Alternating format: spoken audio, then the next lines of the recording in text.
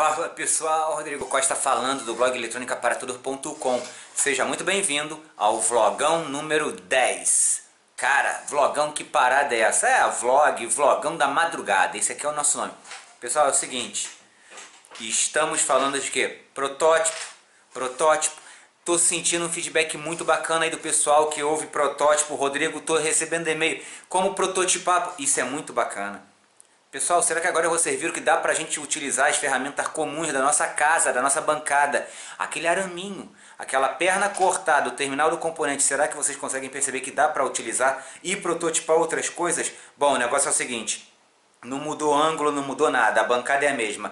Mas eu queria falar para vocês que não fizemos o protótipo. Qual protótipo, Rodrigo? O protótipo do gravador de bootloader para T-Mega 328P para a plataforma Arduino, que na verdade a gente está gravando com o quê? Com a nossa placa Arduino V2. É isso aí, pessoal. E ó, a bancada está aqui. Já começamos a prototipar, a desenhar e vejam vocês.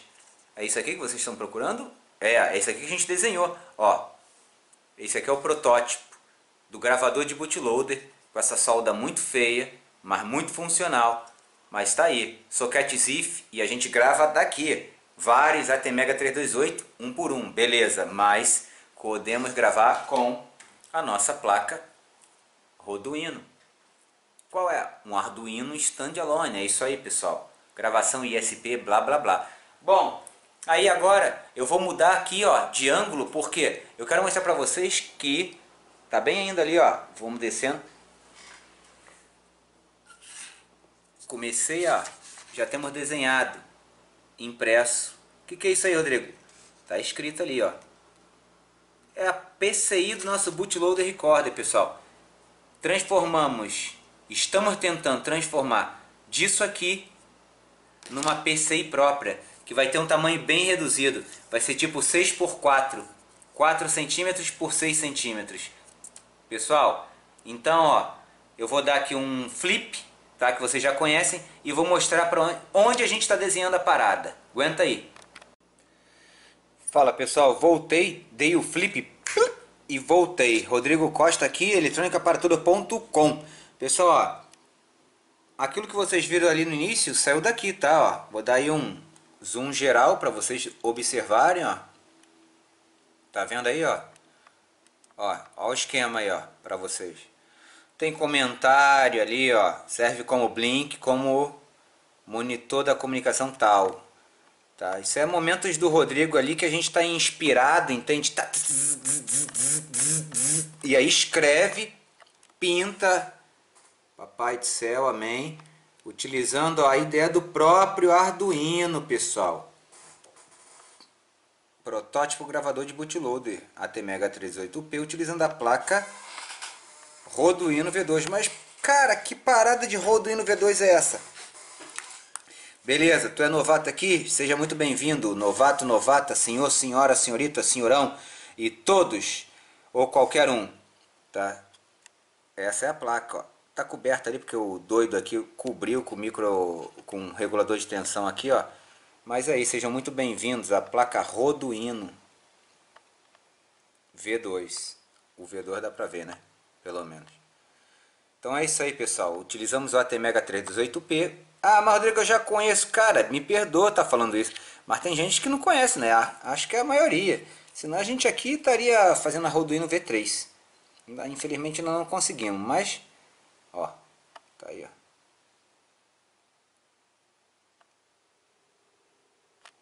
Beleza.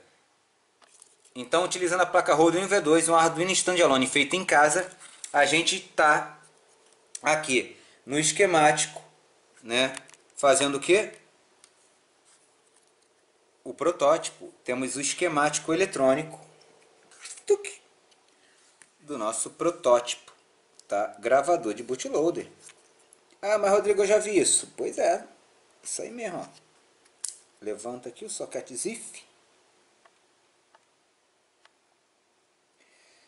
Temos aí, ó, indicador, temos aqui dois tipos de header para quando a gente tem, ah, eu só tenho macho, eu só tenho fêmea, então aí quisemos fazer essa brincadeira para facilitar uns pezinhos para não encostar em lugar algum que não deva, né? tranquilo. Uso de cristal, de capacitor. Beleza, tranquilo. Então, a partir disso, né, com o esquemático, a gente vem para o protótipo e do protótipo. Ah, o pessoal pergunta também, Rodrigo, e a Roduino aí? É gravada como? Com módulo CP2102, ou com FTDI, ou com CH340. Tá bom, pessoal?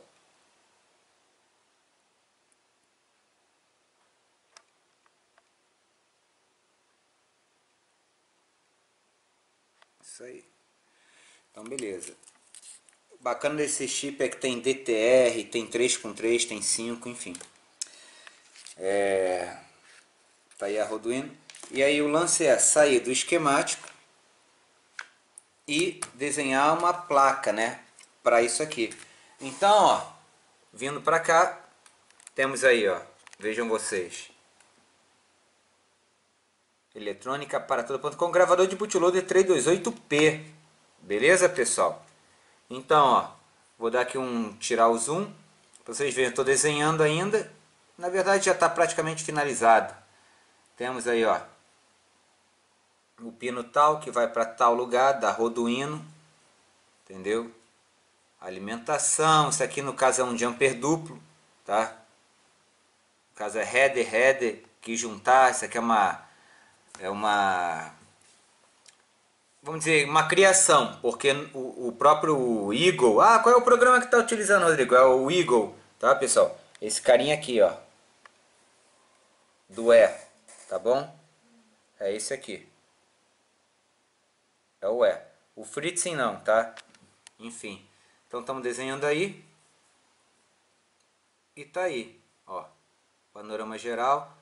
Por isso as sinalizações, ó.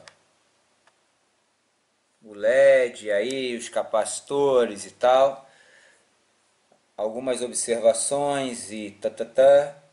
E é isso. E a partir daí, né, a gente tem o primeiro inicial aqui. No caso seriam as trilhas sem plano de GND de terra, mas eu não sou fã de desenhar placa sem plano de terra, mesmo que não seja para RF, mesmo que não seja para alta frequência, enfim, são gosto pessoal, tá? E a gente vem para cá. Tá aí a nossa placa. Desculpa o reflexo, mas tá aí a nossa placa. Gravador de bootloader para ter Mega 318P da Atmel, eletrônicapadura.com. Aqui está a nossa placa. Aí dá para ver ainda aqui, ó, o tal do socket ZIF, o porquê do dimensionamento. Ah, porque 5, 6, portanto, por causa do ZIF, não dá para considerar apenas um DIP, tá? Do Online Package, porque senão seria só essa parte aqui. Temos uma parte bem maior, tá? Por conta do socket ZIF, tá? Vejam vocês, ah, ele só tem tais pinos, igual um Jeep, mas ele tem uma carcaça muito maior, tem que levar em consideração. Então é isso. Vamos ver como é que vai ficar isso. E a partir de daquilo ali, a gente voltou para cá e conseguiu isso.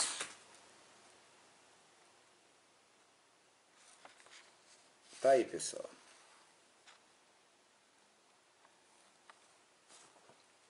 Tá aí. Para vocês verem. Ah, Rodrigo, tu está considerando aquela, considerando aquela parte mais negra ali com 5.9? Tô não, pessoal. Aquilo ali é simplesmente questão de dimensão, tá? Isso aqui no caso, ó. Isso aqui, ó. Mas na verdade é 5.9 daqui para cá. Beleza? Então 6 por 4, 24 é, centímetros quadrados. É isso? Deve ser. Então é isso, pessoal. Ó por aqui, fechamos e agora, esse é o vlogão número 10, fechamos, fecha, ai, caiu do show, fechamos o vlogão por aqui, o vlogão é assim, mostra a coisa como é, e pessoal, tá aí a parada toda desmontada, osciloscópio, ó, e é isso. Vamos sair do protótipo, vamos gravar bootload aí, pessoal. Mas, Rodrigo, e essa parada aí? Eu vou ter que dar pausa aqui no vídeo para copiar, porque você não vai liberar? Aguenta, aguenta. Vamos ter todo o esquemático disponível para todo mundo aí. Quem quiser construir, desenvolver, prototipar, confeccionar em casa, seja bem-vindo. É isso mesmo, pessoal. Vamos gravar bootload nas nossas casas, tá? Fiquem com Deus e em breve vamos, vamos desenvolvendo e vamos contando. Um abraço grande. Até mais. Tchau. Audio Jungle.